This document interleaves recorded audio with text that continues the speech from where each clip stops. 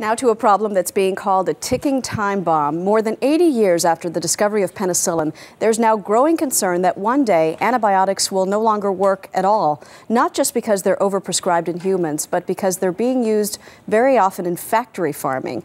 Katie Couric is here now with a preview of her two-part CBS News investigation. Good morning, Katie. Maggie, good morning. Nice to see you. Know, as you mentioned earlier, the CDC says antibiotic resistance is one of the most pressing issues facing Americans today, and there's growing concern agriculture may be playing a major role in this, with huge amounts of antibiotics being given to healthy livestock to prevent disease and to make them grow bigger faster.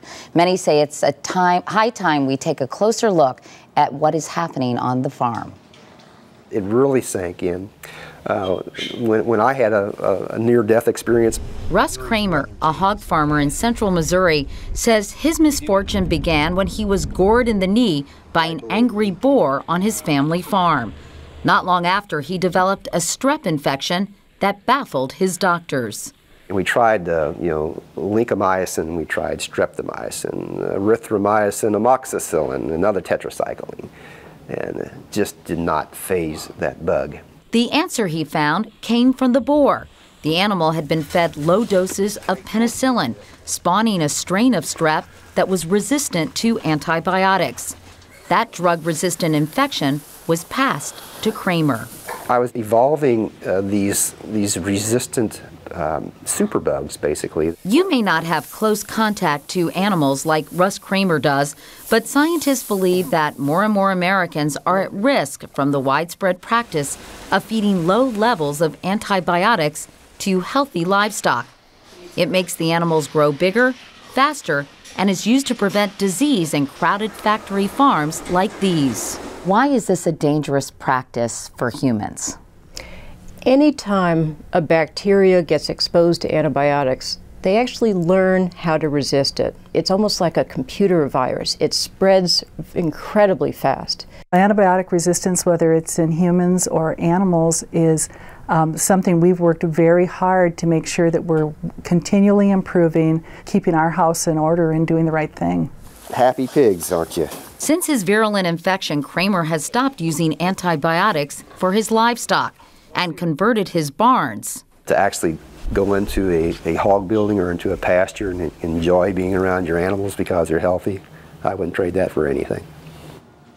So he's a farmer who's around livestock all the time. That's this right. This is something that we all need to worry about, don't well, we? Well, that's right. You know, we all have heard that you have to use antibiotics judiciously, and there's concern that humans are being overprescribed them for everything when they don't really work for viral infections.